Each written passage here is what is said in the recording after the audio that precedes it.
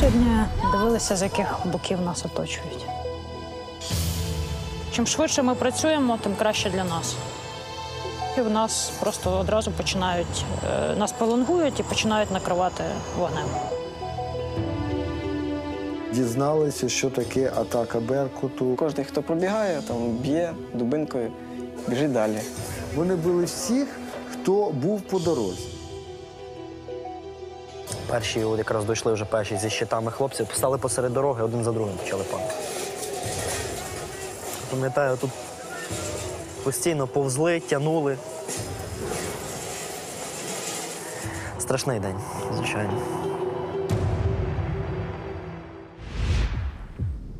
Храбрые сердца. Истории настоящих героев. Национальная премьера.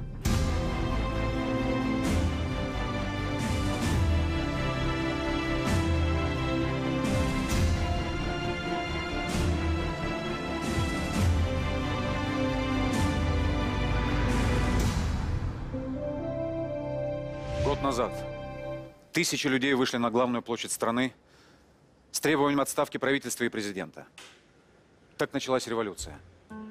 Революция достоинства, которая переросла в священную войну за нашу свободу.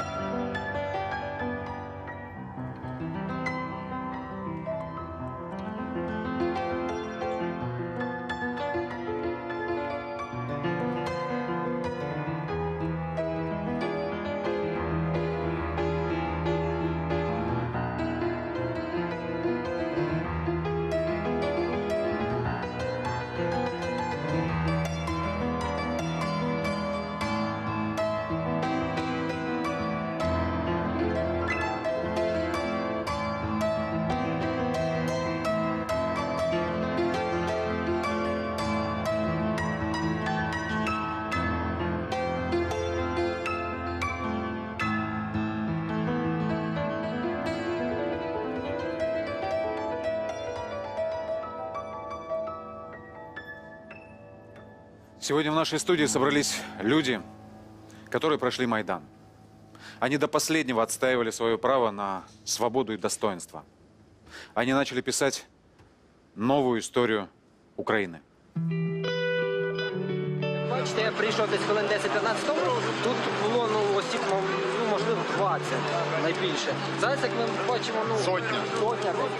Чекає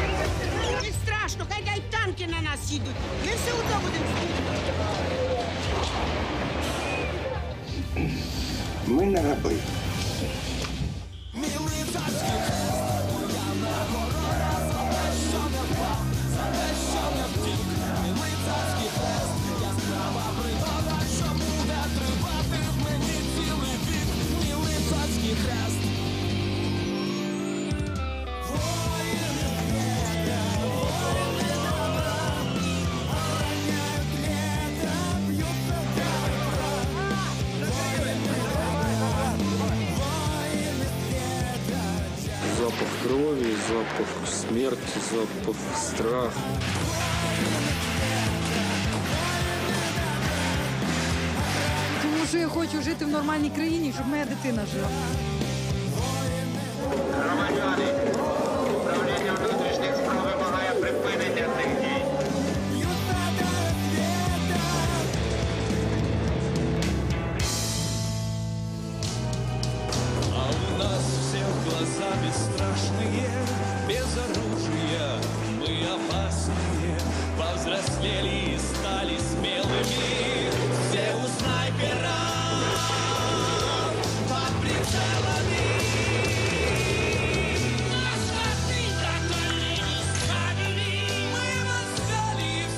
Все. Да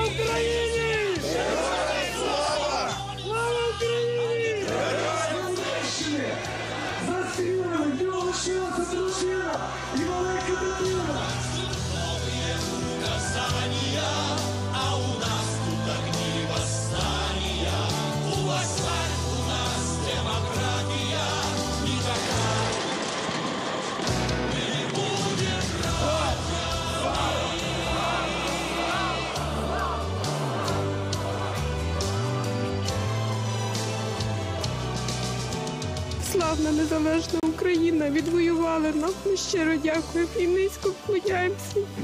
Ці жертви, які ми понесли, і які продовжуємо нести кожен день, якраз це є те, що нас заставляє боротися. Ровно год назад власть перешла границы дозволенного. Беркут получил приказ разогнать с Киевского Майдана Независимости мирно митингующих студентов. Избитая и напуганная молодежь нашла спасение в Михайловском монастыре. В нашей студии непосредственный участник событий той страшной ночи. Игумен Фотий.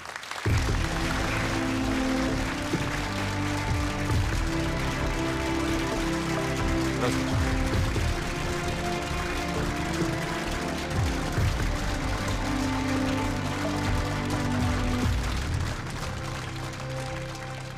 Скажите, много их было, студентов?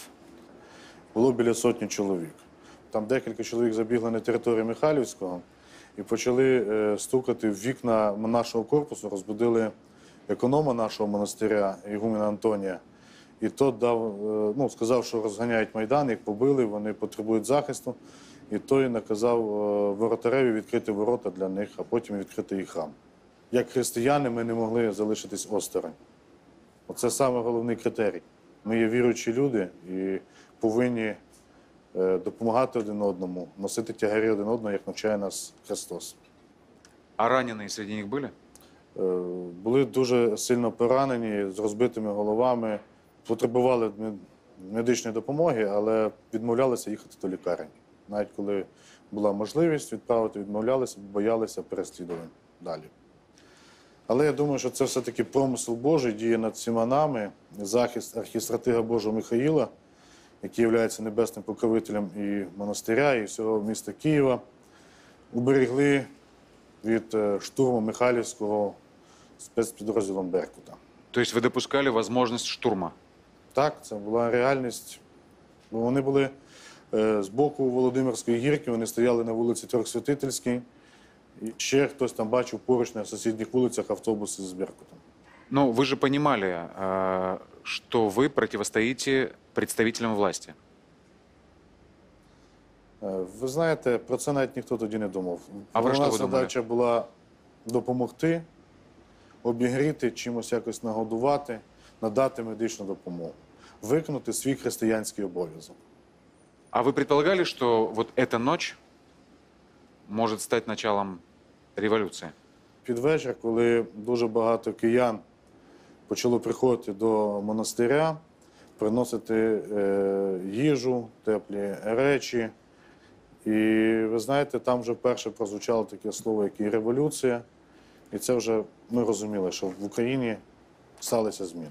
У нас в студии находится студентка, которой вы дали приют в ту ночь.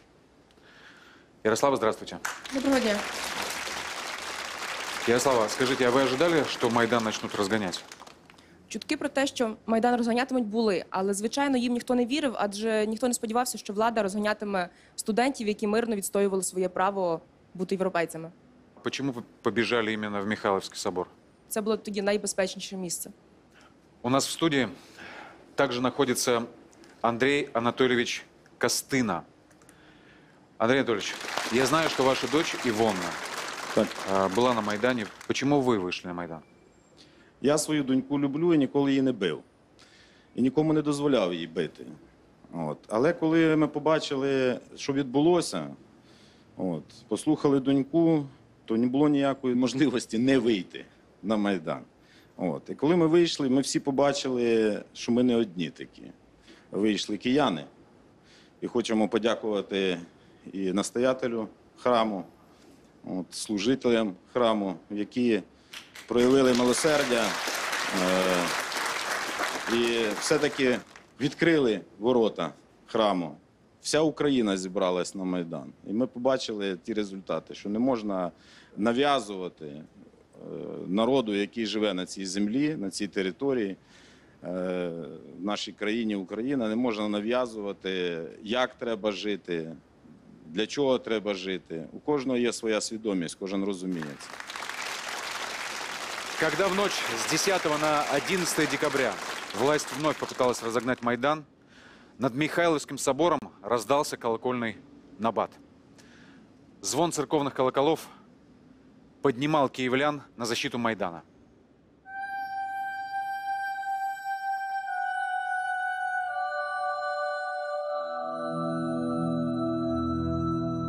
Близько першої ночі на мій телефон почали поступати різні смс-повідомлення, ще більше дзвінків. Просили, щоб я починав бити у дзвони, тому що майдан зачищають. Е, Голоса вони були настільки пройняті істерикою і цим таким страхом. Е, Мені здавалося, що це, мабуть, остання ніч для майдану. Е, Востаннє дзвони Михайлівського Золотоверхового монастиря дзвонили у Набат в 1240 році, коли на Київ нападав хан Батий своєю ордою. Я впевнений, що любов до Бога, любов до батьківщини, така любов, яку мають українці, вона переможе будь-яке зло. І я дуже радий, що Бог сподобав мене бути частиною цього великого і доброго такого дійства, коли люди захищали свої права.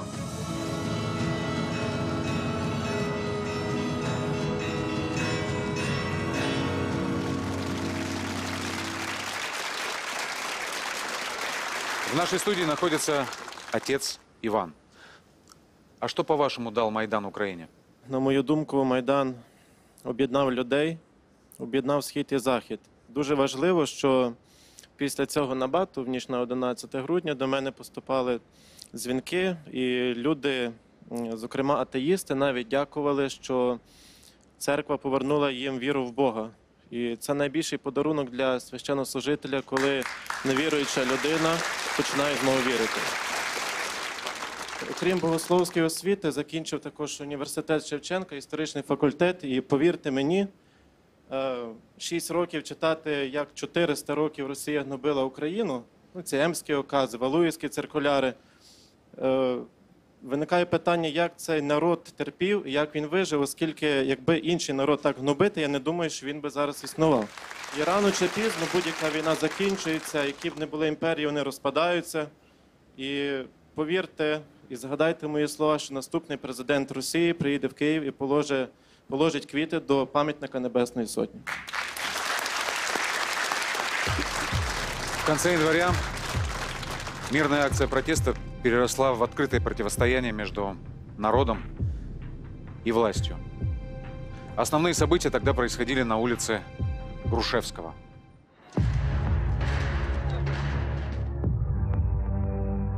До останнього стояти, хоч через кров, але все рівно. Я особисто пройду, я готовий.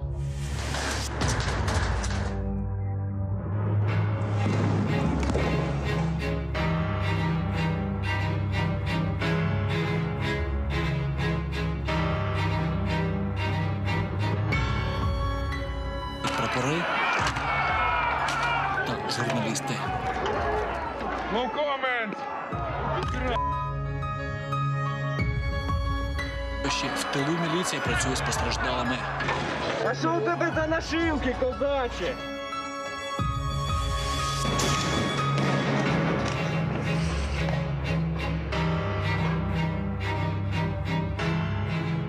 Мама, пробач, я обіцяв так не робити. Ну я тебе брехав. Ну зараз вже нема куди відступати, вбивають людей. Повідомлення про першу жертву з'явилось о 6 ранку.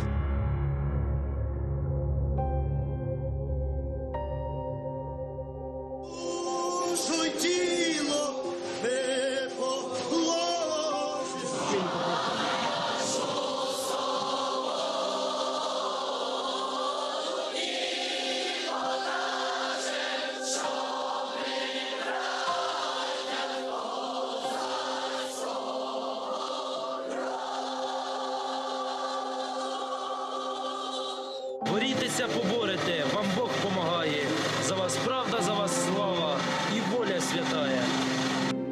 Нашей студии непосредственный участник событий на улице Грушевского и активного участника событий на Майдане, режиссера-документалиста Кристиана Жереги.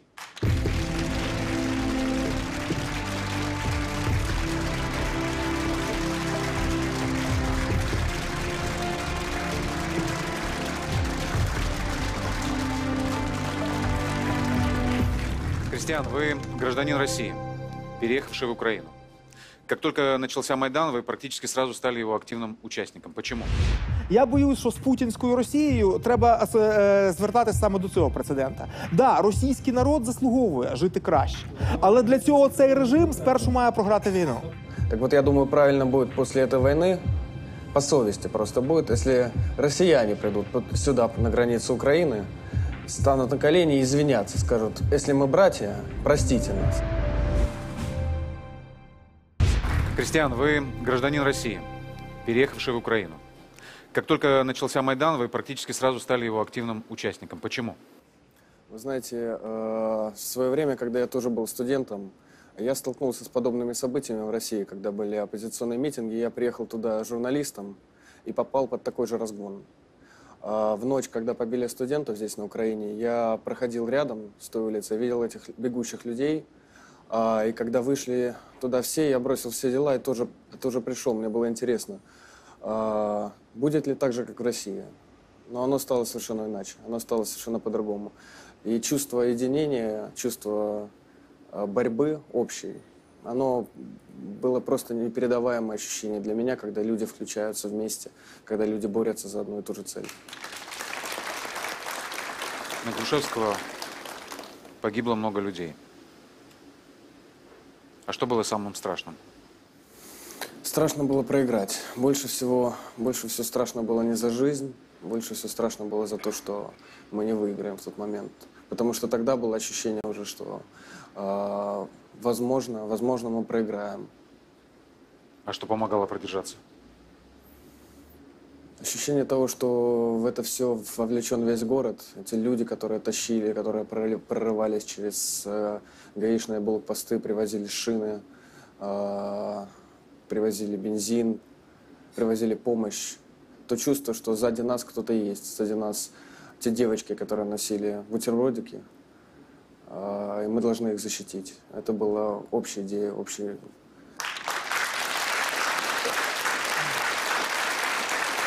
Вы были с самого начала и, собственно, прошли весь Майдан. Что поменялось в этих людях? Самое яркое, наверное, впечатление, которое запомнилось именно по людям. Когда на следующий день после расстрелов, когда все знали, что линия снайперов работает по улице Институтская. А, И уже собралось много людей, уже были похороны. Прозвучал то ли выстрел, но нечто подобное. Со сцены сказали, что кто-то ранен на Институтской. И все люди, даже пришедшие туда с детьми, даже пришедшие туда с семьями на следующий день, все начали лавиной просто подходить к тому месту, подниматься опять вверх по Институтской. Э, В людях полностью исчез страх. Люди перестали бояться даже собственной смерти. Майдан объединил абсолютно всех. Здесь были представители разных регионов, возрастов, профессий, вероисповеданий. Я хочу познакомить вас с человеком, который смог добавить людям, стоящим на Майдане, еще каплю надежды. Встречайте, Евгений Дикий.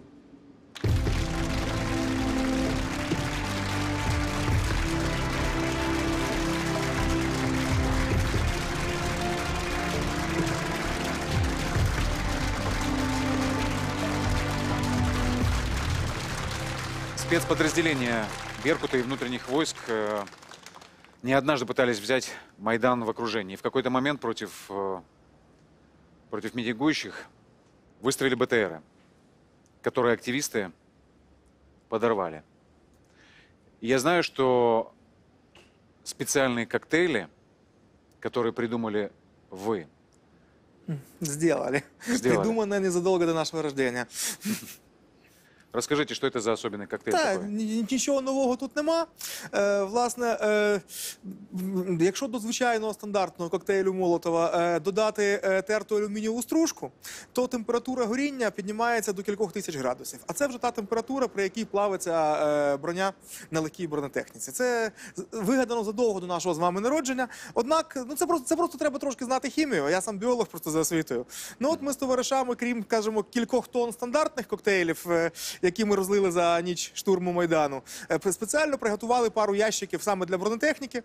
Ну і т- таким чином, коли е, оскільки ми вже очікували, що рано чи пізно е, бронетехніка піде, то відповідно для неї вже було підготовлено, скажімо, саме спеціальний подарунок. А Це ви бу- трохи збільшувало наші шанси. А вы были уверены, что против вас выставят тяжелую технику?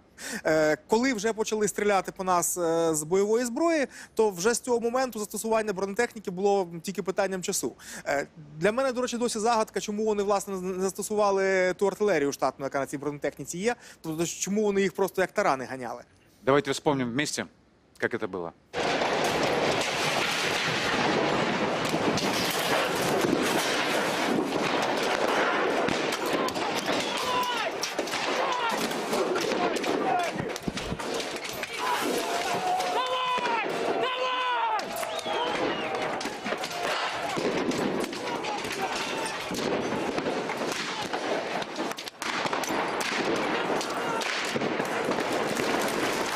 для вас что было самым страшным на Майдане?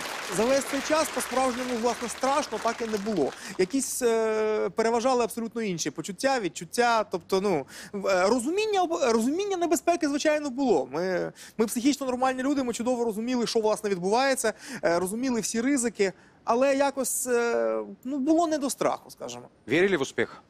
Е, Є такі речі, які ти робиш, е, хоча абсолютно вважаєш, що вони приречені, вважаєш, що шансів на перемогу нема.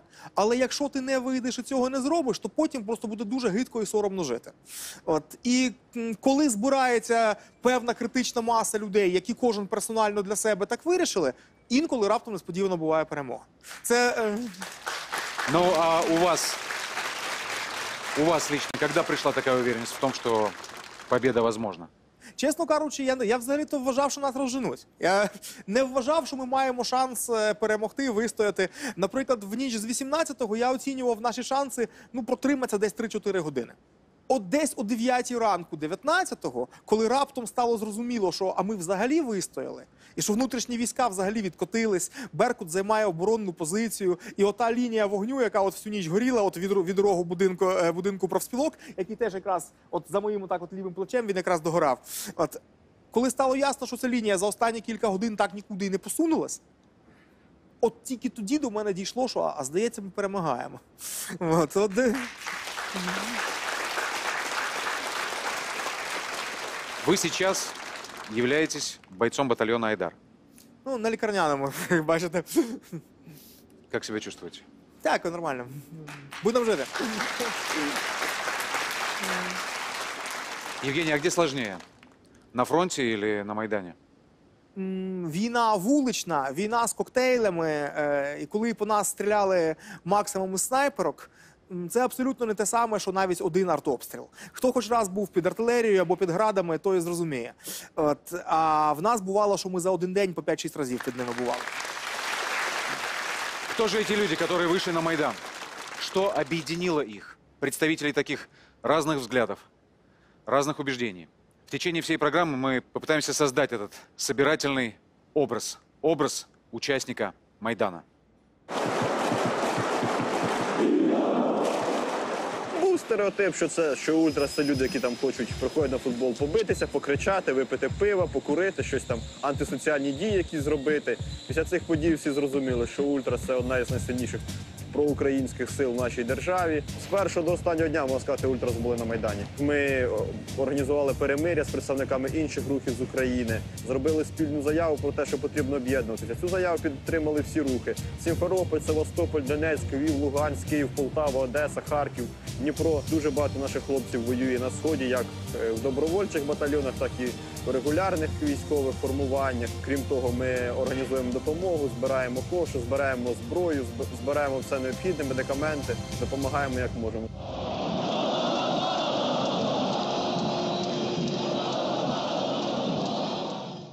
Спочатку робила дизайни для іноземної публіки, англійською, французькою, щоб донести всю тяжкість подій в Україні. Але потім захотілося зробити щось своє, щось для українців. Так і створилася ідея зробити абетку. Створювалася вона по ночах, бо вдень я працювала та навчалася. Виклала я абетку ввечері. Прокидаюся вранці і бачу, що в мене вау на Фейсбуку 300 друзів, безліч повідомлень. І розумію, що так спрацювало. Трай-плакат — это вот такое объединение художников, дизайнеров, рекламистов, которые рисовали и сообщали свою позицию через э, постер.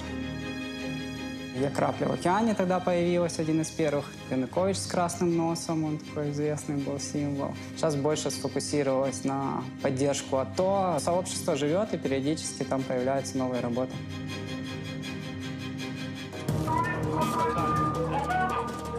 Вночі з 10 на 11 грудня дивилися, е, що робиться на Майдані Незалежності. Тоді е, в 5 ранку виїхав на роботу, заступив і зробив оголошення. Шановні пасажири, станція Майдан Незалежності закрита на вхід та вихід пасажирів і працює станція пересадки. В зв'язку із штурмом Беркутом наветове містечко. Зазвичай на станції площа Льва Толстого виходить набагато менше народу, аніж вийшло тоді. Підходив до мене працівник міліції по станції Майдан Незалежності, задавав питання, скільки заплатили, хто мене зобов'язав дати таку інформацію в салон. Я про репресії навіть не думав, що можуть бути репресії. Я просто робив те, що вважав за потрібне. Я в той день після роботи був на Майдані Незалежності, допомагав відбудовувати барикад. У нас багато машиністів було на Майдані.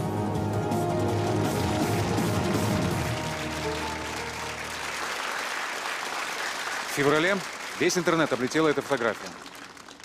Очень многие спрашивали, кто же этот отчаянный человек, который противостоит вооруженному Беркуту с самодельным луком в руках. Мы очень долго ждали появления этого человека в нашей студии, который приехал к нам сюда прямо из зоны АТО. Встречайте, в нашей студии Орест Каракевич.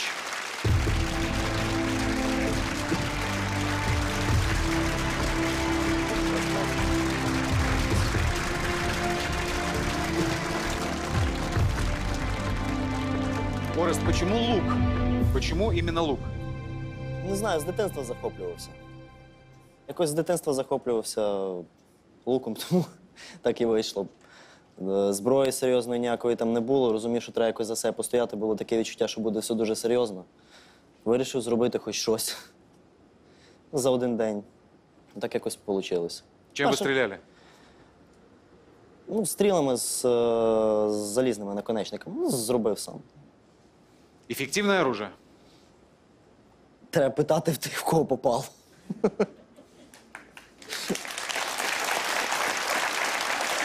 Вы были на Майдане 18 и 20 февраля? Да. Что запомнилось больше всего? Інститутська. Розстріл. Інститутська. Коли розстрілювали всіх. От, м, Напевно, найжахливіший момент. Ну, але тоді якось прийшло таке як м, знання, що це кінець Майдану. Гірше вже нікуди.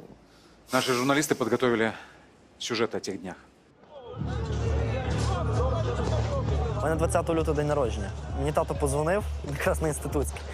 Кажу, та ні, ні, я в Франківську, тут просто передають на екрані, що твориться на Майдані, дуже сильний звук. Рядом вистріл. Бум!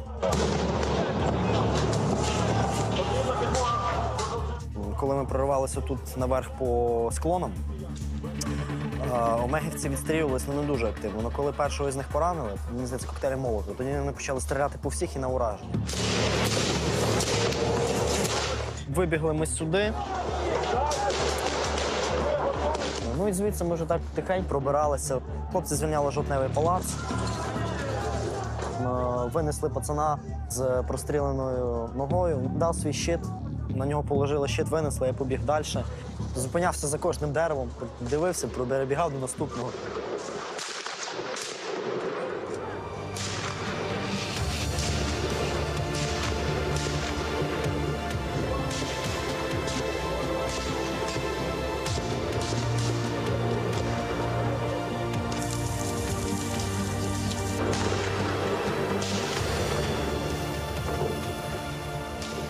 Повернувся трошки назад, перевів погляд на цю сторону. Перші якраз дійшли вже перші зі щитами хлопці, стали посеред дороги, один за другим почали падати.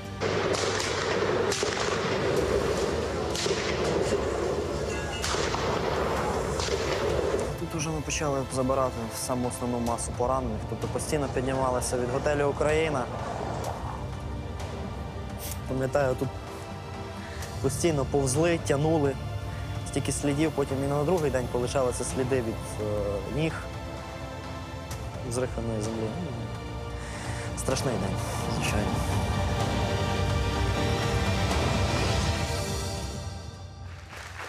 Многие из тех, кто навсегда останется в наших сердцах, как ангелы Небесной Сотни, должны были бы строить новое будущее нашей страны на фронте и в тылу, если бы не пули снайперов, которые навсегда прервали жизни этих благородных и храбрых людей.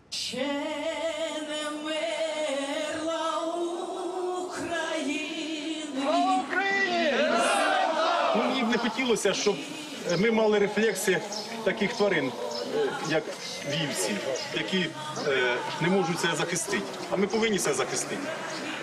Ми в себе вдома, це наш обов'язок громадян. Вони терпіли довго. І витерпіти просто вже не було можливості терпіти, і вони пішли. Хоч нормально Далі нікуди зупинятися. Далі родини наші, далі, далі наші батьки, далі наші діти. Блін. Ми не підемо звідси, блін. не підемо. Хай вони як так хочуть, так і роблять. Блін. Але ми, ми, ми їх не боїмося.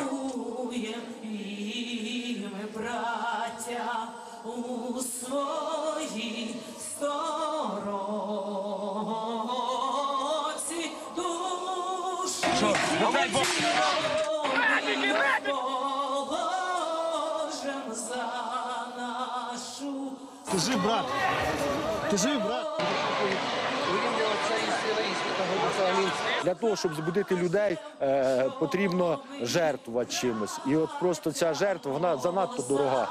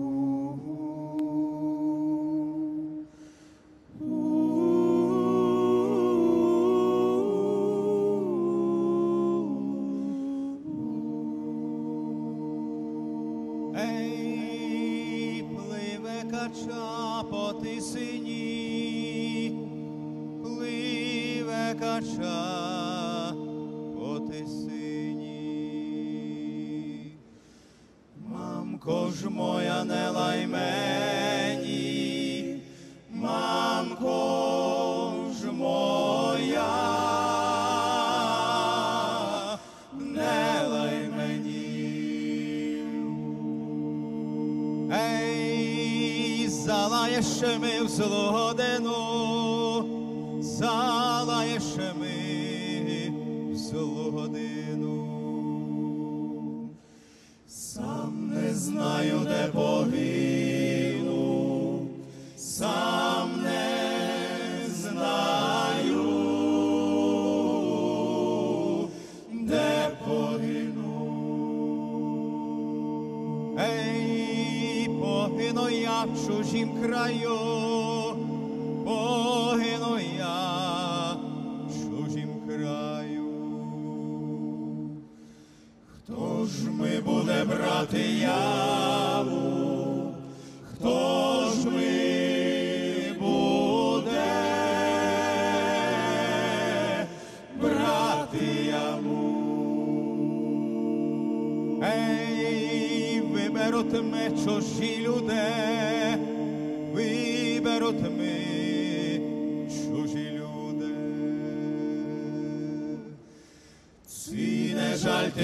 ти,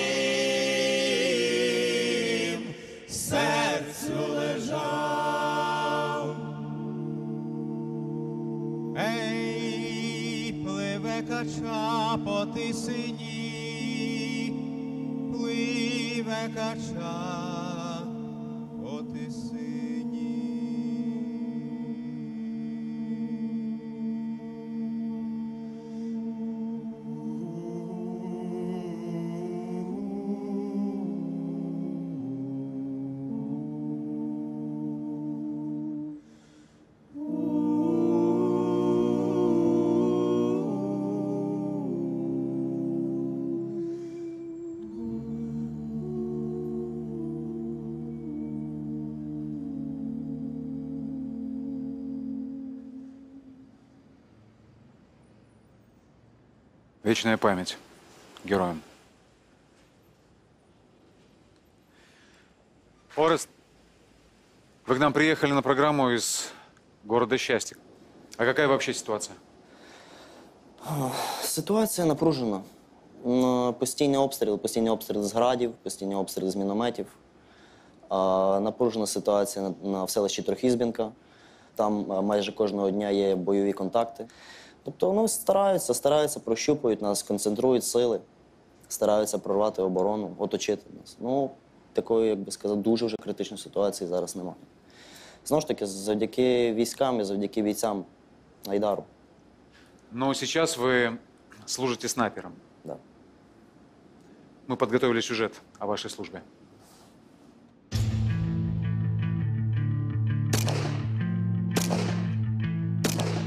Знаєте, обов'язок кожного чоловіка захищати свій дім і свою країну.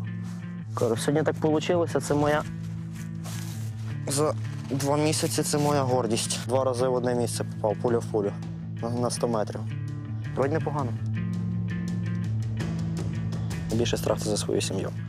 Тобто, як вони відреагують на то, якщо, не дай Бог, чи поранений, чи не повернуся. А ну, за себе, в принципі, то, ну, який страх? Ну, це наша робота. Враховуючи то, скільки часу ми вже тут, це, це просто вже тепер наша робота. Ну, звичайно, що важко. Ну, 5 вересня загинув мій найкращий друг Зайдар Андрій Юркевич.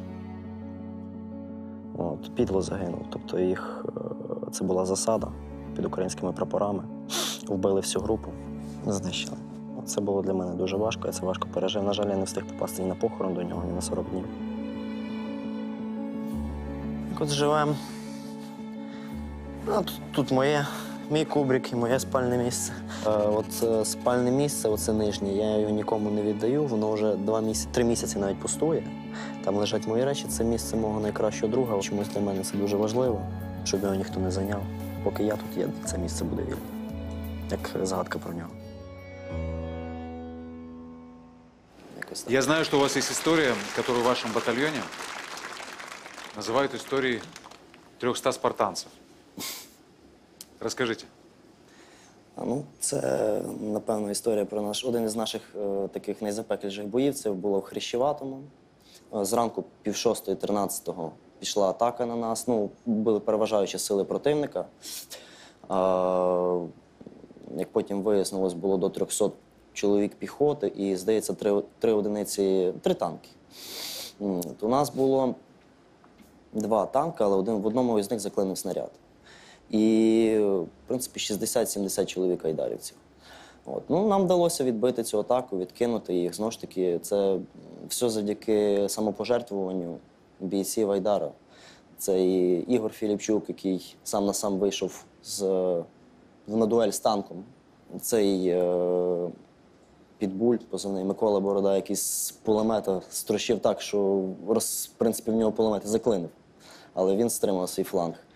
От, е, це і мої друзі, старшина, Грізлі, я, які з, е, ми старалися відкинути е, ворожих ну, противників з пі- пістольних гранатометів. От.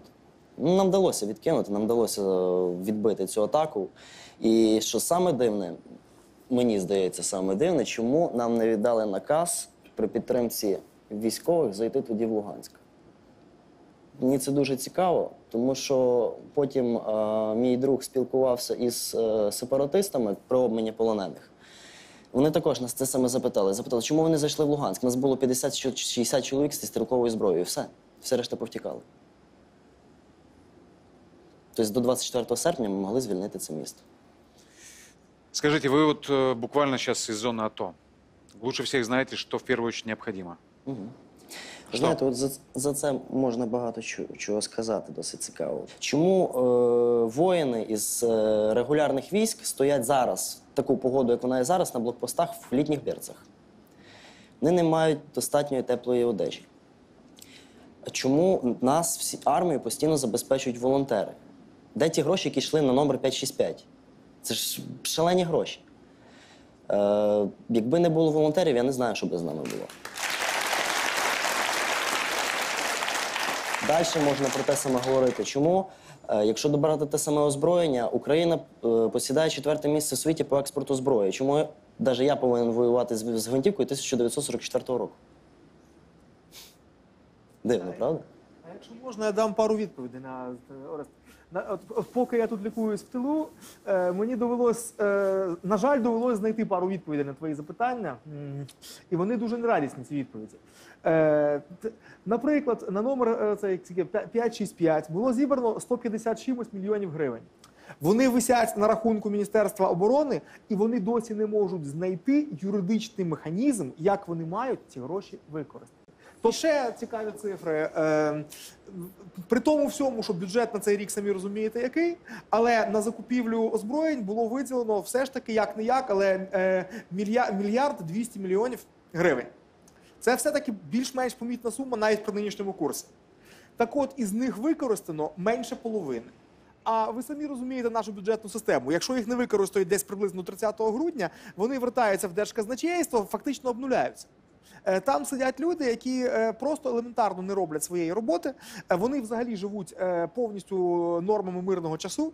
І до речі, а для них взагалі ще й офіційно війни взагалі то нема. Це так всім нагадую. Ну це нічого, що ми втратили приблизно 3 тисячі людей станом на зараз, і кожного дня втрачаємо ще.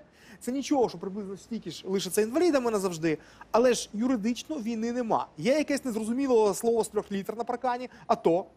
От, а не українсько-російська війна. Це нічого, що напроти зараз, от власне напроти Ореста, е, стоять неаполчленці. Напроти них зараз стоїть Кантіміровська дивізія, краснознаменна, орденов там багато яких. Ми всі це чудово знаємо. От, але, е, але війни нема. От.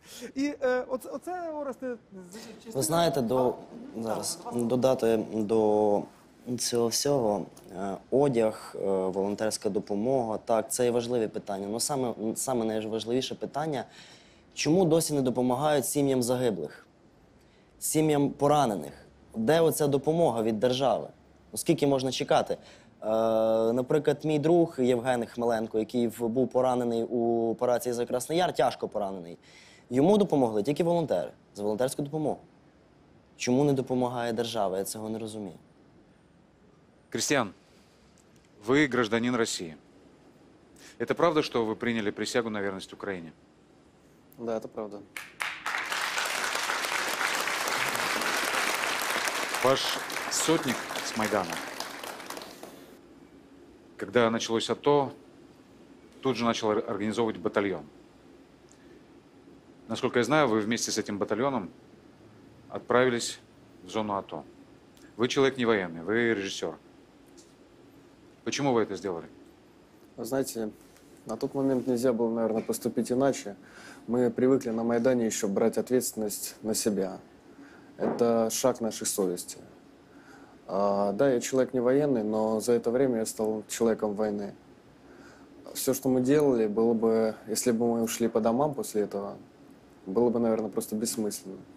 Потому что последнее событие на Майдане это было испытанием нашей веры и уверенности в наше дело. Почти все, кого я знал, кто были активными участниками Майдана, ушли в АТО. Но это, это разумно, логично.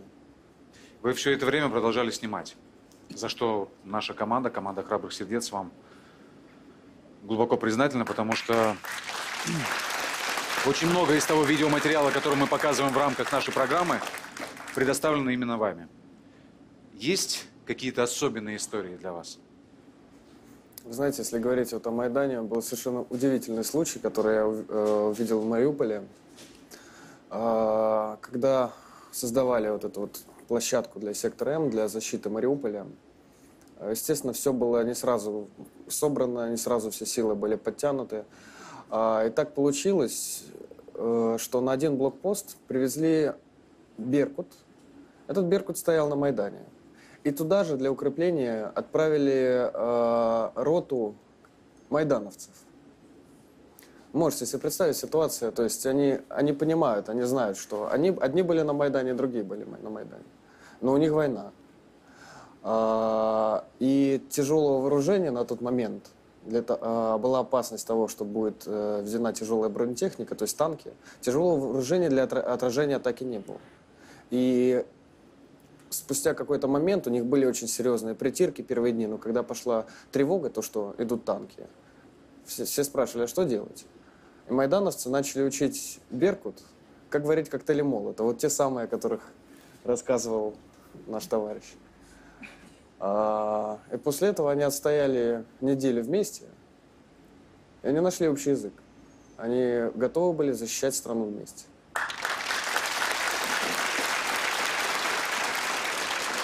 Мы неоднократно показывали ваши материалы из цикла «Край земли».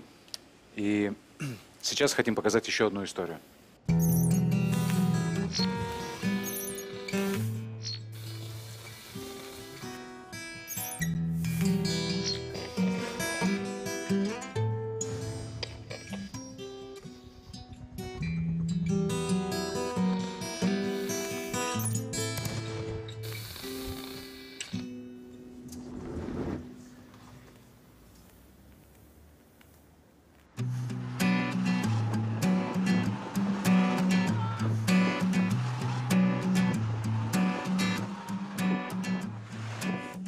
Машина пехоты. Жало. Почему жало? Потому что мехвод, мехвод у нас жалючий такой. Фамилия у него такая специфическая просто. Крупыва. Ну, Месяцок будет скоро. Именно здесь.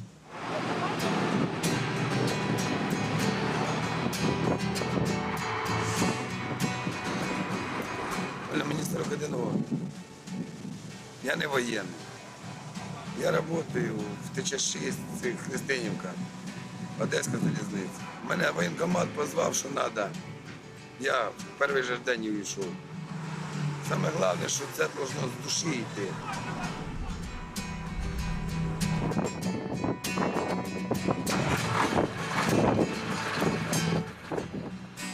Как призвали меня, призвали меня, через месяц призвали моего братника.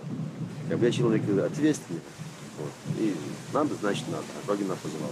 Я понимаю, что бардак в стране, вот из этого я пошел в армию. А двое деток у меня, которые ждут и гордятся мной, как думаю. Ну, я уверен в этом, даже не думаю. И пацану уже 13 лет почти, доте 4 года, которая в садочек по- пойдет 21 числа. Я же говорю, что я давал обещания своей стране, своим детям, давал присягу. Кто же, как, как не я, как не мы, как не такие ребята. А мені саме обідніше, коли виїжджають звідти за то, чоловіки кидають свої хати і їдуть там живуть. А я должен з дому їхати сюди. Да ні, пожалуйста, приїжджайте дончани, харків'яни, блін, е, луганчани, приїжджайте, чого? Тут місця всім хватить. Але ж вони не їдуть сюди зараза. Кажу одне, що да, воно не тяжко тут. Душевно жалко тих людей, навіть обідно за тих, що в Луганській, в Донецьку. Їх жалко сильно. І за те, що вони страдають від якихось непонятних аборигенів. А нам жалко, що ми довго не бачимо дітей своїх. Оце єдине. Батьків, матерів. А то все, як то кажеться, ерунда. Нам, як воєнним, вроді байдужечко.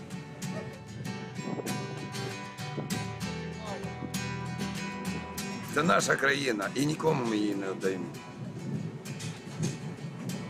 Цю країну нікому ми не віддамо. Ми будемо або на щиті, або під щитом. Одне єдине. Привіт всім матерям. І всім здоров'ячка. І за рідну Україну спасибо. Головне, знаєш що? Бог з нами і правда з нами, братва. І будемо живі, не помрем. І родину защитим. Україна, все нормально. Так що, братва, Якось так.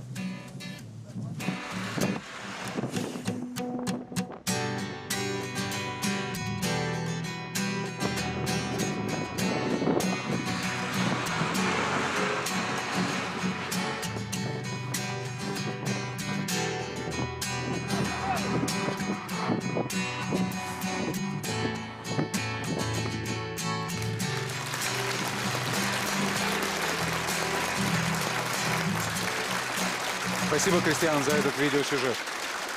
Так вот, я думаю, правильно будет после этой войны, по совести просто будет, если россияне придут сюда, на границу Украины, станут на колени и извиняться, скажут, если мы братья, простите нас. Хочу представить вам Ростислава, больше известного под псевдонимом артисту-эгоисту. Э, Вы 14 лет прожили в Германии. Но как только начались события на Майдане, вы тут же приехали в Киев. Почему? Це важливо, я розкажу, щоб люди знали, що і як було е, в цій історії. Ем, і я почав, я робив пісню, і в цій, цій пісня це, це моя мрія. І цю пісню назвав, назвав Revolution Ukraine, е, революція свідомості. Я сказав, що якщо ми змінимо тут думки і скажемо, що ми можемо, тоді ми тоді ці думки коли стануть реальністю. І так сталося. Це я приїхав на Майдан, 21 числа почалося, я бачив в інтернеті. 22-го я прилетів зразу і заспівав цю пісню, яка називалася Гімном змін для України. Вона на другий день написала, що це неофіційний гімн е, Майдану, е, оця пісня. І я був на Майдані 4 місяці, я співав цю пісню з перших днів, і вона дуже багато давала людям. Люди говорили, що вона об'єднує. Ця пісня була зроблена для того, щоб об'єднати людей для спільних дій. Вона давала силу, віру, надію. Моя, моя мрія зараз це мир. Це сама перша мрія. І я б хотів, щоб ця мрія стала також нашою спільною. Спасибо. Мир. У нас в студии Владимир Малышев из города Санкт-Петербург. Вы человек, который приехал из Российской Федерации и имели возможность ну, посмотреть на ситуацию, которая происходит на Майдане, ну, скажем, несколько со стороны, да? В России, в принципе, возможна такая ситуация? К сожалению, нет. Почему, на ваш взгляд? А, К сожалению, э, Украина это страна, а Россия э, там единственная ценность людей выжить. То есть там, вот знаете, вот когда здесь э, человек, например, героически погибает, да, то есть э, все понимают, ценят именно этот поступок, и человек, когда идет на это, то есть он герой и ради Родины, ради страны. В России главная задача и ценность выжить в любом качестве, в нищете, в рабстве. Лучше, конечно, там воруя какие-то большие деньги, но главное выжить. То есть я считаю, что сейчас самый лучший способ все-таки вырыть границу, навести порядок в своей стране, и потом попытаться навести э, с ними какой-то диалог. Украинцы всегда были свободолюбивым народом. И Майдан – прямое тому доказательство. Но за эту свободу иногда приходится дорого платить. І, власне, одинокий протест і не де інде, а у східноукраїнському Луганську. Юрист тамтешньої Луганської міської ради ніч проти суботи провів біля пам'ятника Шевченка із плакатами у руках на підтримку столичного Євромайдану. І це все діло було наодинці. Подходили, м, предлагали уйти. Пацаны, убирайте его, пацаны, ваш друг. Сейчас его просто если забьют, просто этот флаг, понимаешь, заголимый его. Возле здания горсовета э, э, областной государственной администрации э, была заблокирована машина. Это была толпа, там, ну, больше, наверное, 50 человек всего участвовало в этом избиении.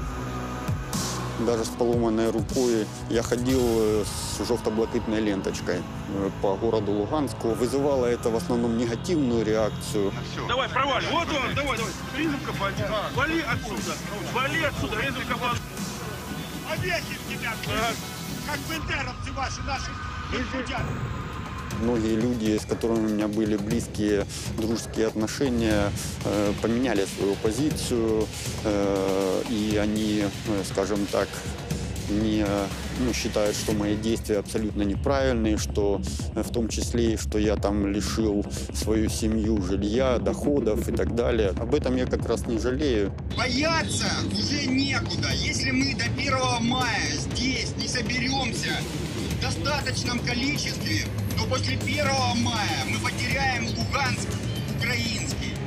Каждый может сделать что-то. Если бы тогда эти действия были более организованные, то, возможно, и наши акции были более многочисленные, то не было бы такой ситуации, которая сейчас, ну, развязанная фактически война.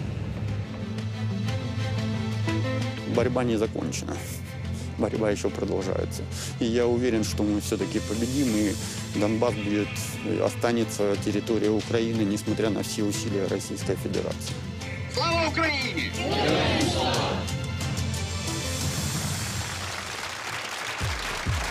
Медики. В них стреляли так же, как в протестующих. Красный Крест не гарантировал безопасность. Но эти отважные люди вновь и вновь шли под пули, чтобы выносить из-под огня раненых. Я хочу пригласить в эту студию представительницу Красного Креста Катерину Корника.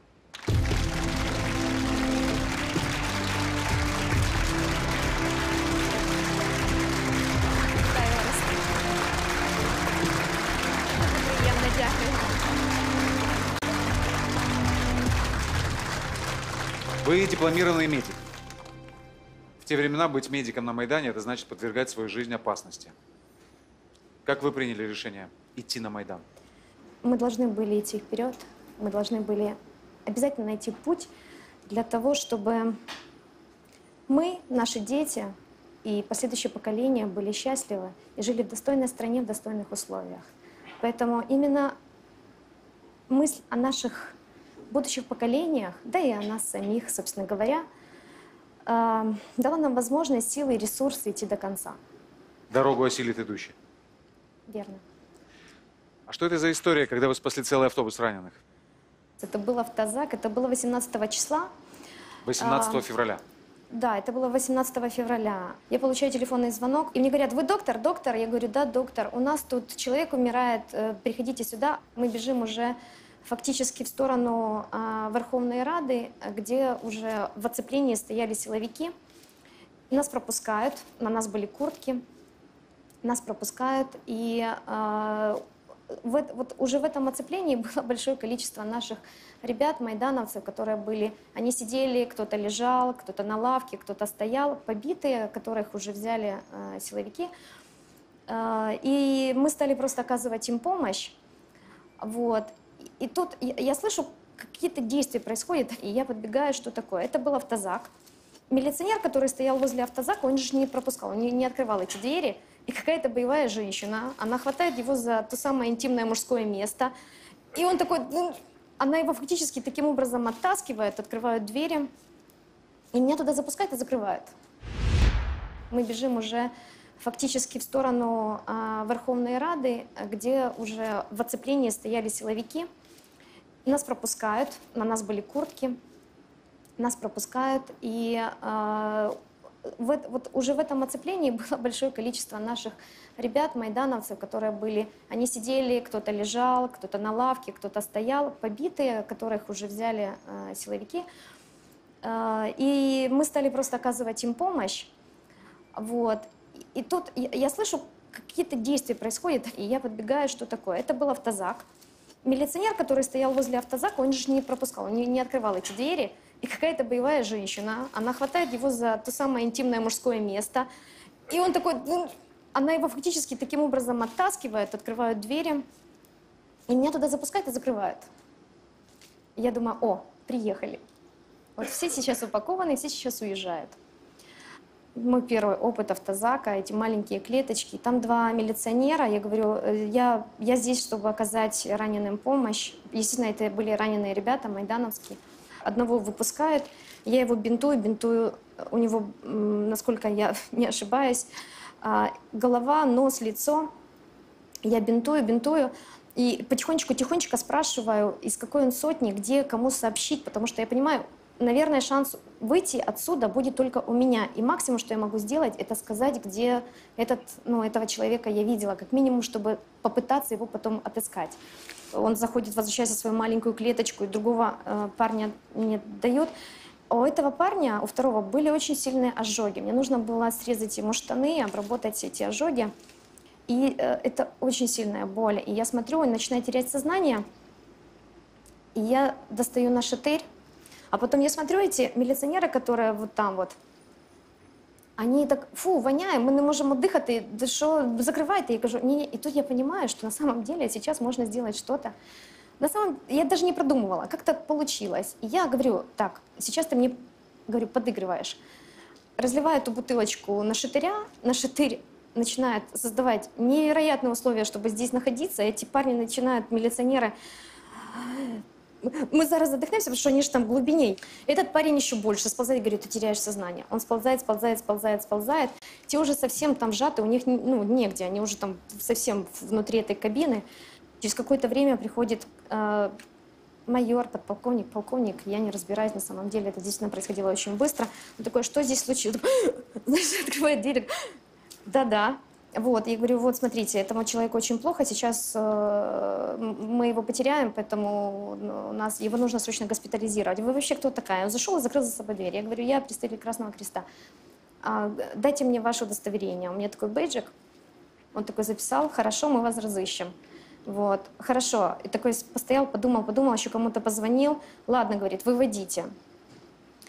И мы выходим, я выхожу, а тут уже собралась какая-то толпа народу. В это время подбегают вот мои два коллеги, которые «ты где пропала?» Ну, нельзя, же, действительно нельзя, но все происходило очень быстро. Меня подвели, меня туда посадили. И этих ребят, которые сидели, всех остальных нам позволили, позволили вывести со мной. Я не знаю, что произошло, как это произошло. Но, в- но силовики, они позволили собрать вот это, вот это большое количество ребят, которые уже были захвачены, майдановцев, а нас было всего трое. Кто-то, двое человек висело на мне, кто-то еще, кто-то просто шел, друг друга поддерживали, и мы вывели в это время, мы посмотрели, мы вывели всех. Я не знаю, ну, возможно, человек 20, возможно, больше, возможно, меньше. Понятно, что никто не считал. То есть, но нам сделали коридор, и мы вышли. Вышли, подвели к скорым, и, ну, и, соответственно, ребята уже уезжали. Ну, а дальше уже стали происходить следующие события. Я просто думаю, что я делала...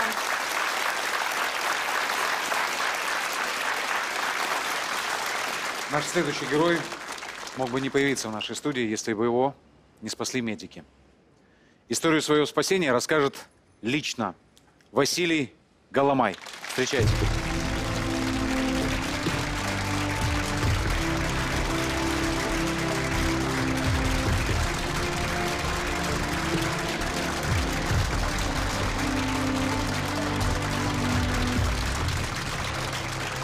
Василий, вы были на Майдане с 10 декабря. Ранение получили 20 февраля. Как все произошло? То сталося на вулиці Інститутській, на самому верху, е, поблизу метро Хрещатик. І як то сталося, настільки був сильний біль, е, така сила, ніби опинився на спині. Таке враження було, ніби ноги відірвало. Надзвичайно сильна біль. І перша думка, яка була: ну все, і що ти, чим ти поміг на Майдані, чим тим людям поміг? Наступна така, то буквально за секунду часу, то все промайнуло. Е, Зараз доб'ють. Тоді наступна думка: і що я скажу Златі, то моя донечка. Але я розумію, що я не скажу, тому що, мабуть, справи погані. І тут я відчув, як хтось мене потягнув. Просто потягнули. Е, по Бруківці, по інститутській, і я от чую вже шум, бачу над собою обличчя, люди, галас, лікаря кличуть. Підбіг, білий шолом, от, схилився наді мною, біла футболка. І оглянув. І тут я відчуваю, що мене переклали на щит і віднесли кудись на бік. Як виявилось, потім вже вони віднесли мене до парапету поблизу метро Інститутський, і там вже один з медиків, волонтерів, оглянув мене більш так детально, вколов кілька разів знеболююче. І відповідно ми там залишились чекати, поки пройде обстріл, тому що саме в ту ділянку найбільше стріляли. І коли хлопці хотіли мене нести, знову кажу, ні, хлопці, ви мене не несіть або лишаєте тут, або тягнете за руки прямо по дорозі, тому що ну, надзвичайна біль. І вони потягнули мене за руку. Потягнули за руки і потрапив тоді в готель Україна, а звідти вже через Майдан до швидких поблизу барикад на Хрещатику. Они вас фактически вытащили с поля боя. Так, так. А имя знаете тех людей, которые спасли вас? Вже згодом і дуже цікаво, так що чисто випадково мій товариш пішов, з яким ми були в ті дні, пішов на то місце, і стояли хлопці і розповідали, та ми тут одного витягнули. Він каже, та, і мого друга тут поранили. Якийсь незнайомець йому каже, то я був, я витягував твого друга. Той каже, та як ти? Звідки ти знаєш? Він каже, він був ось так одягнений, зелений шолом, металевий бронежилет. Там, так, то був мій товариш. Він каже, та, то ми його тягнули. І згодом вже через е, соціальні мережі, через Фейсбук, зокрема, вже через кілька місяців з'ясувалося, що медик, вже знали, хто той медик, е, то був Іван його звати. Е, І я йому написав в Фейсбуці, подякував.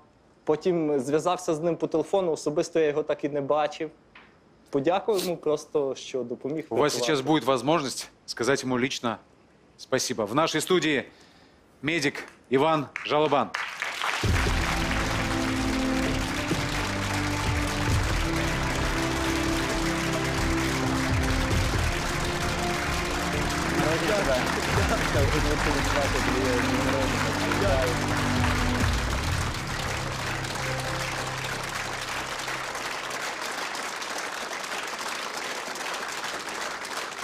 Я хочу услышать эту историю от вас. Перед тим вже кількох людей виніс, кількох не доніс е, з іншими е, людьми, не донесли живими до медпунктів. Спочатку, е, взагалі, перша людина, яку ніс із е, інститутської, вона померла в мене на руках. Е, Це був чоловік, якого я думав, що можна буде врятувати, але в нього виявилося друге кульове поранення в голову, і вже почали робити реанімаційні процедури. Він ще дихав. Потім мені сказали інші лікарі, що припиняти реанімацію. Ну, потім побіг е, вже сходами повз жовтневий. І далі такі наші враження провалу. Е, Тому що мене, пам'ятаю, зупиняли інші, казали, там стріляють, там бивають, туди не варто йти. я перебіг на іншу сторону вулиці е, до готелю Україна. І звідти виніс, не пам'ятаю, не рахував стількох людей. А один момент настав, коли е, якраз на самій першій барикаді, де був Василь, а, побачив, що там просто хлопці падають. Один впав, другий впав. Їх хлопці потягнули на ліву сторону, до сторони жовтневого і, і на низ. Ну і потім бачу, е, один хлопець впав і все, там до нього хлопці підійшли, а бачу, медиків немає.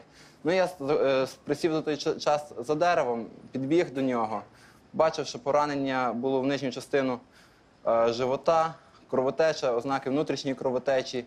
Ну, я заклав тампон на, на щит. Ні, перепрошую. Не на щиту. Ми, здається, так, за руки спочатку віднесли, а вже потім поклали е, за гранітну перегородку біля станції метро. Ось там вже почав надавати більш е, таку допомогу, щоб зупинити кровотечу, трошки шок зняти. Пам'ятаю, що ножа знімав з пояса. У нас в студии здесь присутствует ваш коллега Ирина Солошенко. Здравствуйте, Ирина. Вы профессиональный медик. С первых дней были на Майдане. Видели все своими глазами. Чесно, ми пройшли 20-те. Нам всім було дуже страшно. Правда каже Іван, що ми не запам'ятали обличчя людей, яким ми надавали допомогу, якщо це не були поранення в обличчя. І це було дуже страшно, коли ти 10, 15, 20 хвилин реанімуєш пораненого і ну, ти нічого не можеш зробити, тому що розумієш, що поранення вони несумісні з життям. Треба було крапельницю тримати, треба було не слизнутися на цих кровавих всіх калюжах. Було дуже-дуже страшно, але ну, чесно вам скажу, була якась така м, дуже велика впевненість, що просто ти потрібен. І коли навіть кулі там розбивали шкло за спиною, так всі, хто стояли там біля цієї операційної, ніхто там навіть не присів. Всі були дуже-дуже зібрані. Дякую вам всім. Спасибо и вам. Украинские женщины поистине бесстрашны.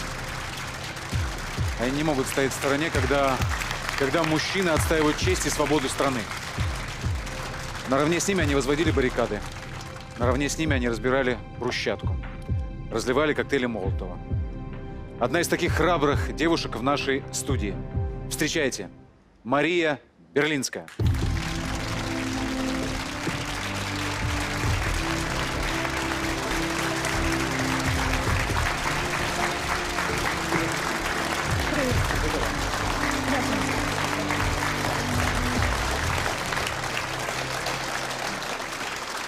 Вы были активной участницей Майдана.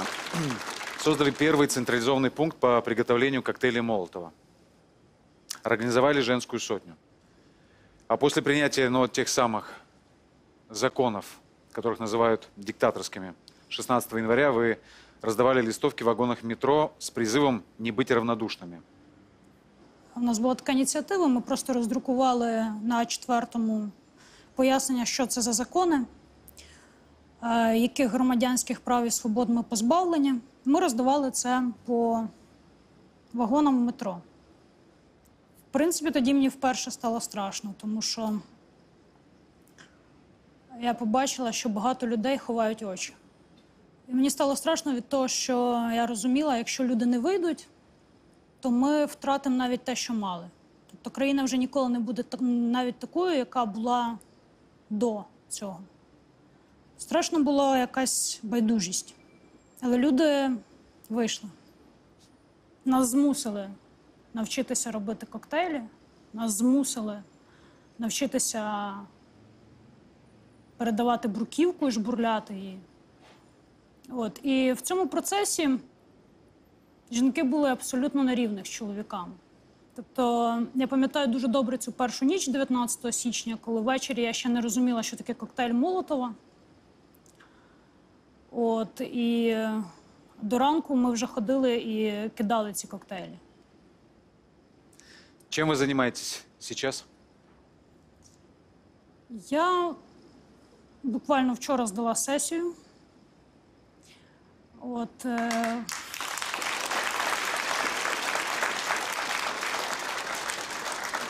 Я навчаюсь е, в магістратурі Києво-Могилянської академії, історик-юдаїст. І люблю свою професію. І я займаюся аеророзвідкою в е, зоні АТО. В добровольческом батальоне «Айдар». Так. О том, как летают дроны и о вашей деятельности АТО наши журналисты подготовили сюжет. Я на війні не для того, щоб вбивати. Розвідка допомагає розуміти, де небезпека, і навпаки зберігати людське життя.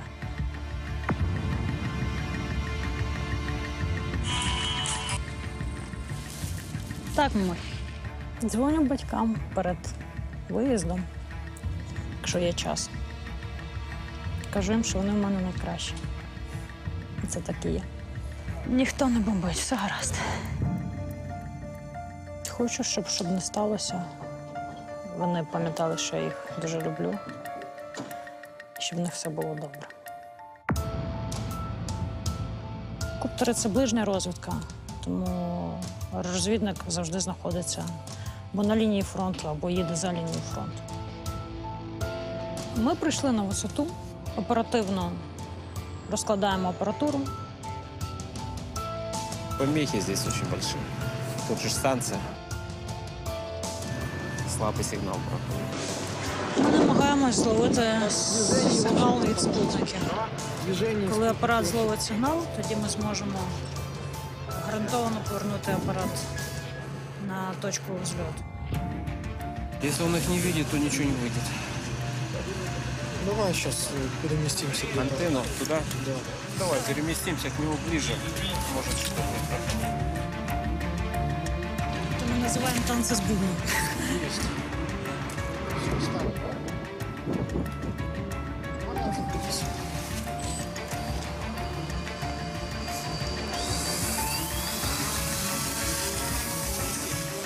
Це їхній район прямо по курсу треба. Откуда дошли? Ми сьогодні дивилися, з яких боків нас оточують.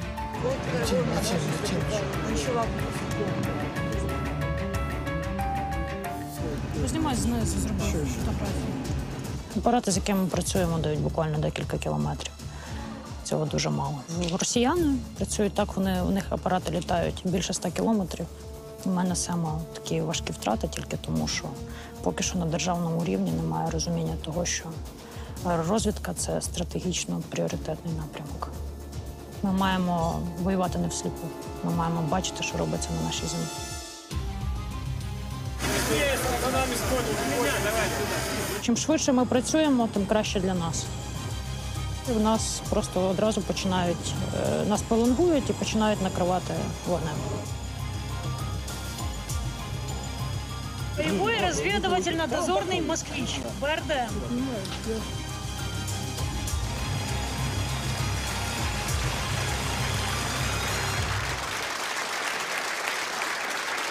Мария, а где страшнее? Тогда на Майдане или сейчас в зоне АТО? Однозначно в зоні АТО. Тому що на Майдані було відчуття, дуже сильне відчуття того, що від тебе, від мене, від нього, від неї е, багато чого залежить.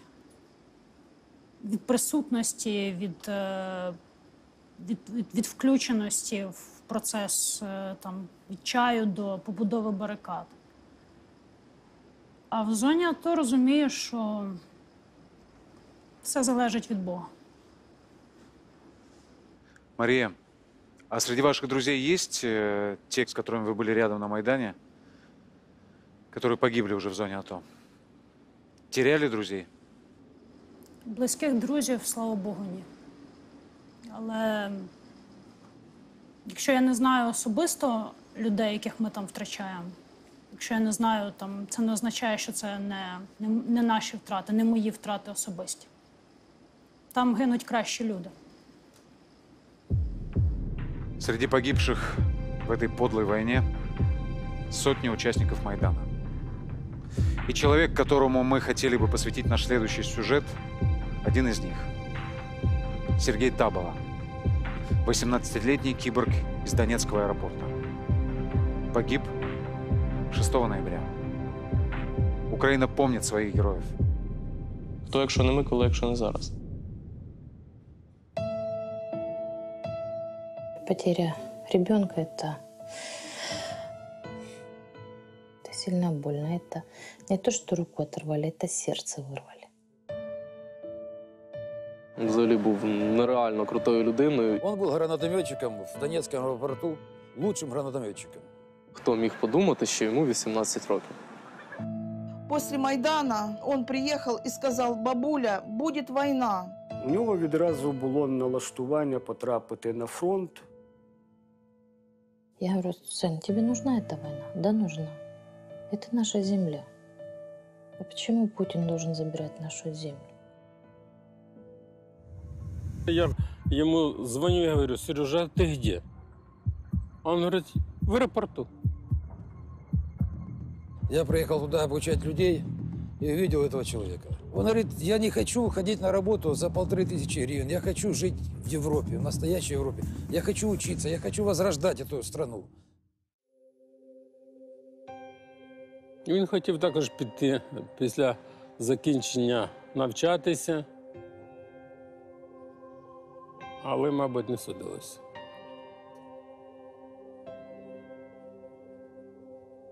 Мы обнялись, я его посадил в БТР, закрыл за ним люк, и они выдвинулись на ротацию в аэропорт. А потом уже через две недели сообщили, что он погиб.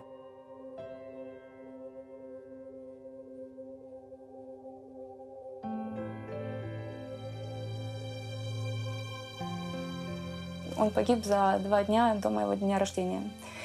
И э, он говорил, я тебе подарю собаку. Он выполнил обещание, у меня сейчас есть собака. Она сама меня нашла.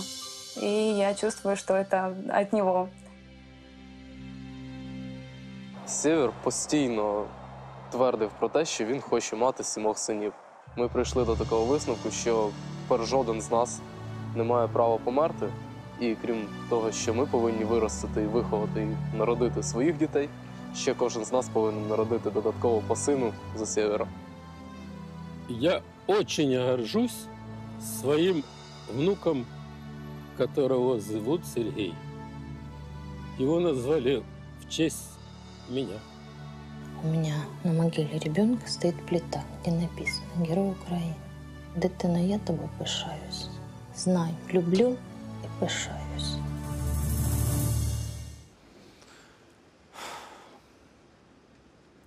Вечная память героям и слава Украине. Героям слава. Команда «Храбрых сердец» и «Один плюс один медиа» мы стремимся также облегчить службу наших ребят на Востоке и помочь их семьям. С этой целью мы проводим благотворительный аукцион. Э, В мероприятии участвуют эксклюзивные лоты, предоставленные известными украинцами. Первый президент Украины Леонид Кравчук предоставил для аукциона два лота, которые приурочены к его 80-летию. Первый лот – книга-альбом «80 лет с Украиной», где изложены важнейшие моменты истории Украины за 23 года. И второй лот – часы, посвященные 80-летию Леонида Кравчука, первого президента Украины. Украинская певица Злата Огневича отдает на аукцион платье. Для певицы это платье очень ценно тем, что именно в нем в 2011 году Злата заняла первое место на конкурсе «Крым Мюзик Фест». И статуэтка, символ Львова от мэра этого славного города Андрея Садового.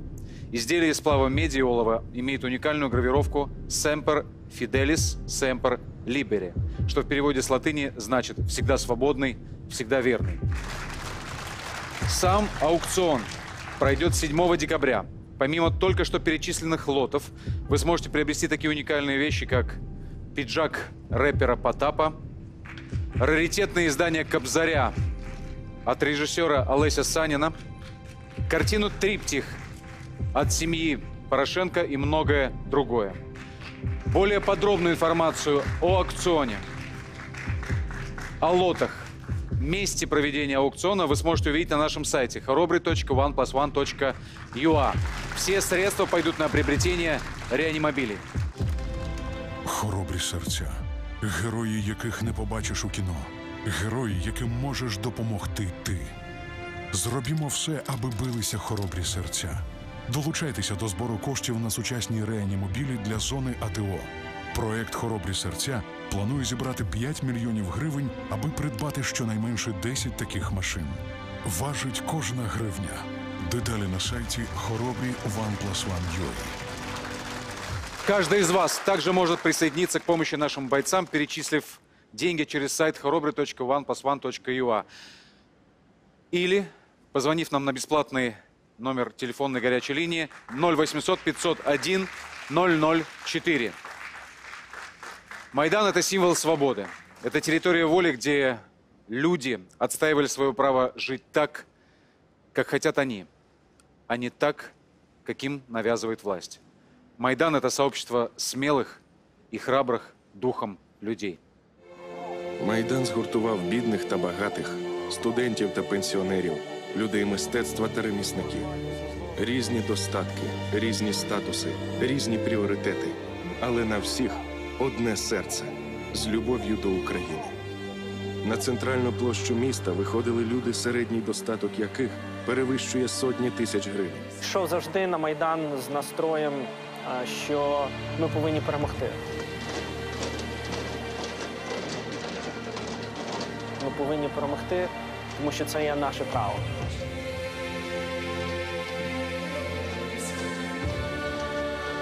Після того, як був штурм, я прийшов зранку на роботу, зібрав команду і сказав, що в робочий час я це не можу робити, оскільки я є офіційна особа, тому я тимчасово складаю повноваження, беру відпустки за свій рахунок. Пішов е, на Майдан е, прибирати сніг.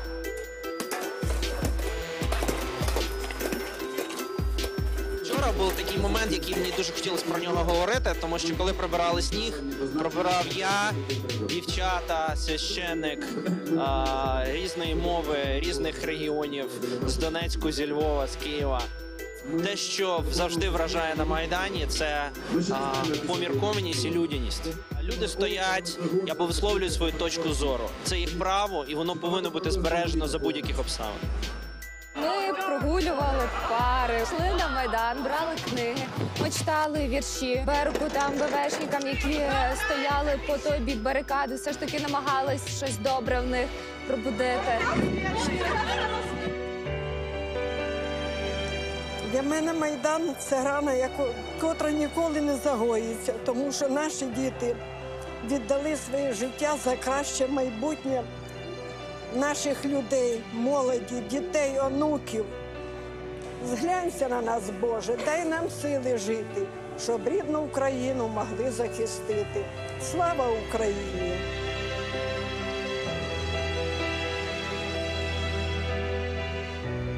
Науковці ставали бійцями і гідно чинили опір системі, яку необхідно було змінити.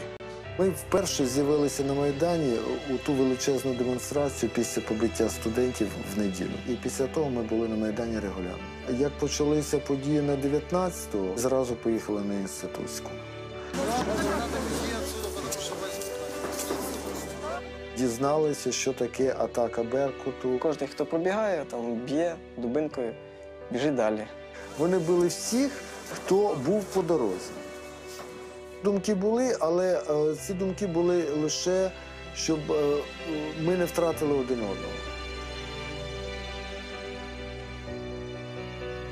Волонтери, ті, що нам допомогли, все-таки перев'язали рани. І волонтери, які допомогли нам сховатися в під'їзді. Яким я щиро вдячний справжні герої, які були на Майдані. З'явилася тверда віра, що е, процес може стати незворотнім і перемога буде за нами.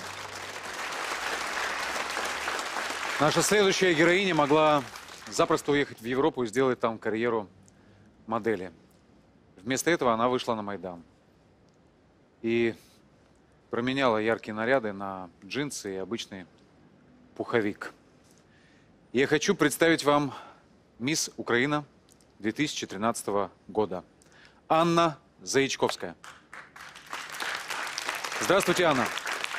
Доброго вечора. Анна, почему вы приняли решение выйти на Майдан? м, завжди, знаєте, просила Бога, щоб могла е, своїм обличчям не тільки просто бути картинкою, такою ходячою і безкорисною, а хотіла насправді допомагати людям. Е, У моєму житті був, в принципі, вибір також, яка моя професія буде. Чесно кажучи, вперше в житті на Майдані, коли працювала із медиками, пошкодувала, що я не хірург, який хотіла бути, а пішла я на іконописця, я пишу ікони і, ну, і в загальному художник. Ем,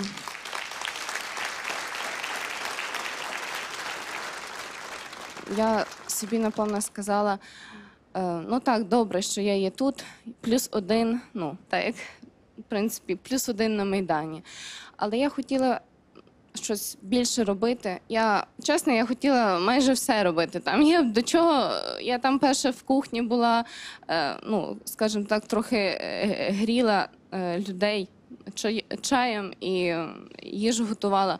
Згодом з друзями організувала Майдан Ніцьком. Це є сайт потреби Майдану, де була адміністратором, зв'язувалася із багатьма людьми. Е, Найперше, ну скажімо так, е, ми так організували роботу із кухнями, інформаційними частинами і. Медчастинами, і кожного дня ми намагалися поповняти, е, ну скажімо, е, цей сайт і потребами.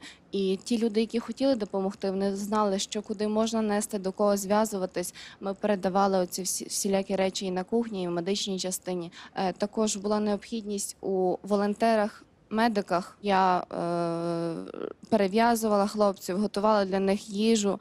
Е, Згодом ходили по е, лікарнях і вже їх відвідували. Пам'ятаю, стоїть отак повністю закривавлений хлопець, якого ну, кров ну, всюди. І знаєте, коли питають там, що тобі запам'яталось ну, на Майдані, це навіть смішне питання. Я от насправді, коли закриваю очі, постійно бачу цю картину цього хлопця, який просто заливався кров'ю, бачу інші такі моменти. Ем, але я дякую Богу, що я там була, в, в той період була, і зараз приєднуюсь до різних аукціонів благодійних, як іконописець, і виставляю свої роботи. Якщо можна, я би також хотіла подарувати свою ікону ну, на цей аукціон. Правда, я її так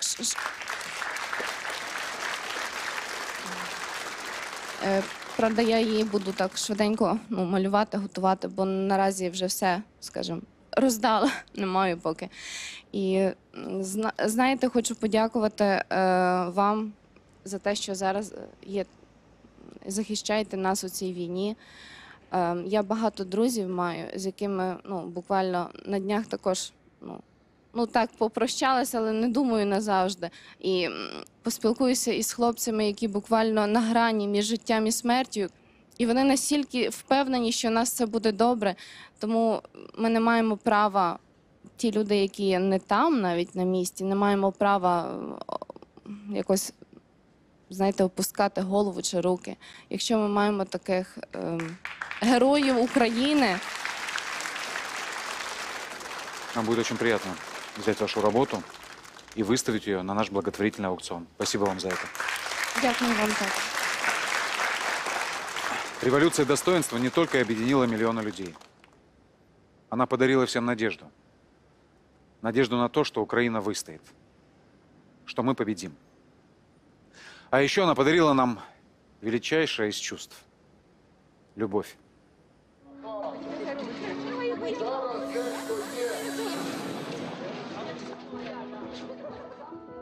Все ж таки вважаю, що я зустріла свою долю на Майдані, хоча я її там не шукала. Ну, так склалось, що ми познайомилися, точно пам'ятаю дату, 12 січня. Після нашого знайомства на на наступний день він сказав друзям, що все, я женюсь. Весь час мене пригощав шоколадками. Потім я не знаю, звідки він їх брав. Він її міг там десь зі стелі, з-під низу, з-під боку. У мене було таке враження, що в нього декілька цих ничок таких з шоколадками.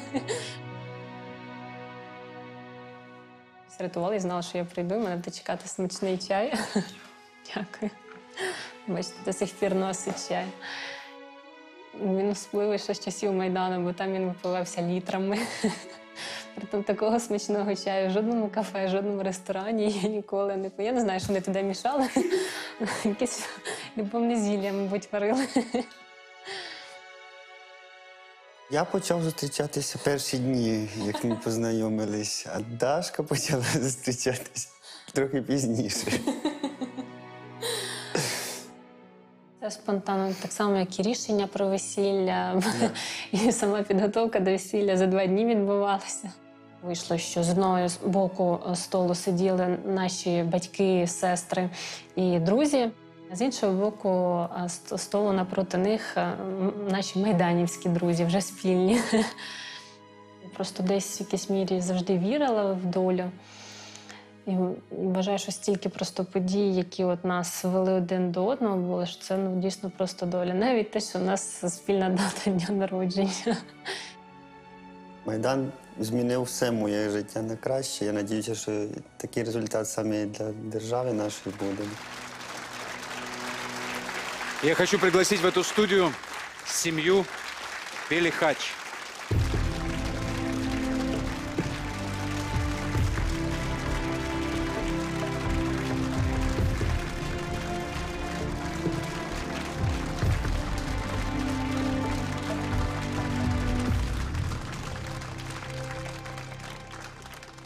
Когда ждете пополнения? На Новий рік. Василий, а как получилось э, добиться внимания Даши? Не знаю. Побачив і зрозумів, що це. Пришел, увидел и влюбился. Это я Да, понимаю. да, я- да, я Это я как раз понимаю. Даша очень красивая девушка. Э, Как удалось добиться расположения, Даша? Це я її питав вже майже перед весіллям. Дарья, як, расскажите як вы, мені це вдалося? что делал Василий такого? М, Він е, дуже піклувався про мене, турбувався на Майдані. Весь час мені чи- чаями мене поїв. Ам, Дещо хитрістю, тому що там то можна я приїду речі поперу, а можна я приїду там покупаюсь чи ще щось. І так просто потім частково через ще хвилювання, тому що майже одразу, як ми познайомились, почали з Грушевського. І я вже я за них, вони за мене. Можливо, ще це спровокувало якісь додаткові такі поштовх до почуттів. Ну насправді не шукали там кохання, ні він, ні я, але знайшли. Василий, я вижу у вас в руках каска. Так, це наш весільний подарунок від наших друзів майданівських, від третьої сотні. Цим, цим подарунком ми дуже дорожимо. Я знаю, что вы телефон Дарьи узнали м, какой-то хитростью. Ні, ні, насправді я ма- Ні, на, насправді так і було. А Я, я мамі Десь- дала десь його номер загубив. телефону і кажу, мам, щоб на майбутнє, щоб раптом я зникну з твого поля зоря, щоб ти там не лякалася. Кажу, от тобі номер телефона, звати Василь. Каже, він завжди поруч. І, власне, так ми і обмінялись телефонами. Василий, а как сделали предложение руки и сердца? Хвилювався дуже. Багато страху було перед цим. Вы прошли вместе весь Майдан. Были в самых горячих точках. И боялись сделать предложение любимой девушке? Ну, подивіться на неї. Як можна було не боятися? Дарья, сразу ответили? Так. Я у Дарьи спрашиваю. Я не знаю, в мене було якесь таке відчуття, що це моє рідне, навіть незважаючи на те, що ми не так давно знайомі. Пропозиція прозвучала, мабуть, на третій місяць нашого знайомства. Але я була впевнена, Ні, що пропозиція прозвучала на третій день або на четвертий. Лише вона зразу її не зрозуміла. Коли я запропонував 90 років танцювати танго для внуків. ну, офіційно з е, каблучкою це було на третій місяць, і я от чомусь відчувала, що це людина, з якою я зможу прожити і бути як за кам'яною стіною. Скажите, а вот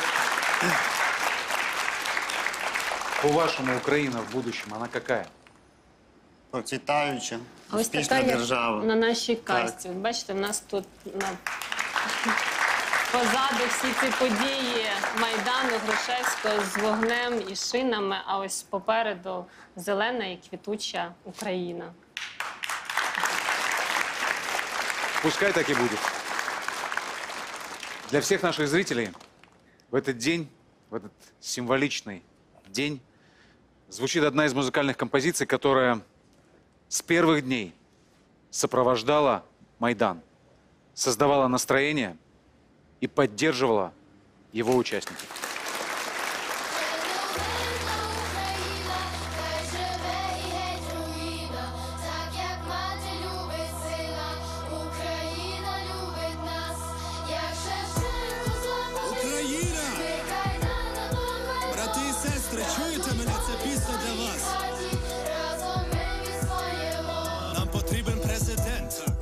Працює на народ.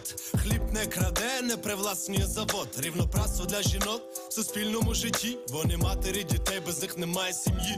Сім'ям житло, щоб у них все було, щоб народжувати дітей і дитятко росло.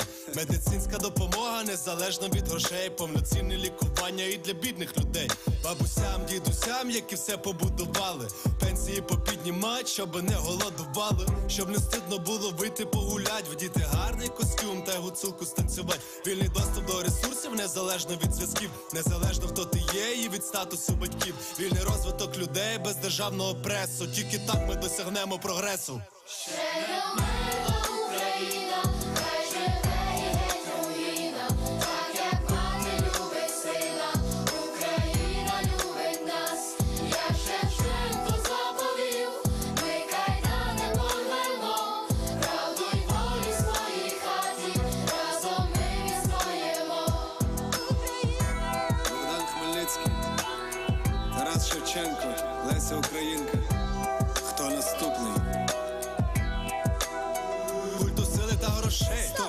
Ми поставимо кінець. Я за культ свободи всіх, хто зі мною молодець, хто візьме хабаря. В космос полетить, в нас корупції не буде, тут таким нема де жить. Суботекс, алкоголь, метадон, нікотин, кожний день пожирають дітей і Україну. Я за овощі після спорту для всіх, ча-ча-ча для старих і конфу для малих. 600 тисяч українців помирає кожен рік, а іще половина емігрує. Може Україна не дожити цей вік. Українців, ніхто неку не врятує.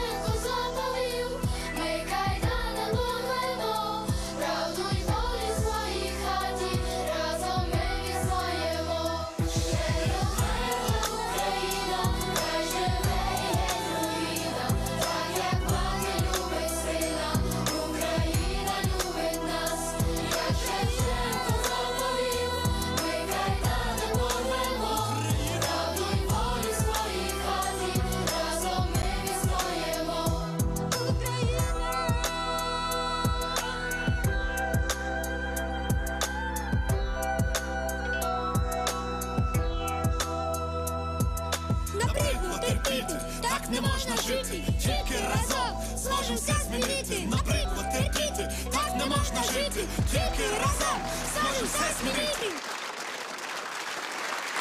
Это была программа о людях, которые, начиная с Майдана, отстаивают нашу свободу и наше достоинство. Это программа о людях, которые пишут новую историю Украины. Смотрите нас в следующее воскресенье.